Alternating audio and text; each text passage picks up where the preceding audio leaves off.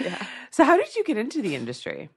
I've always been a very cool person. Mhm. Um, uh, just I've always wanted to be in front of a camera. I've Mhm. always been comfortable with myself. Mhm. Just very like I don't care as long Mhm. as I'm not hurting anyone. I'm gonna do what I want, and what I want to do is Yeah. so I'm just like, okay. And I mean, I met someone that was in the industry, and she was like, if you want to do it, you can. And I was like, oh, I don't know. Am I pretty enough? And she's like, girl, you're going to be great. So- yeah. And then, you know, she introduced me to one person, and it just kind of evolved from there. Mhm. Yeah.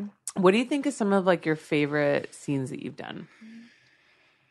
Well, one of the things I love about is that I'm always able to be a new person. Mm-hmm. I'm always constantly reinventing myself Yeah. or continuing a, an ongoing character.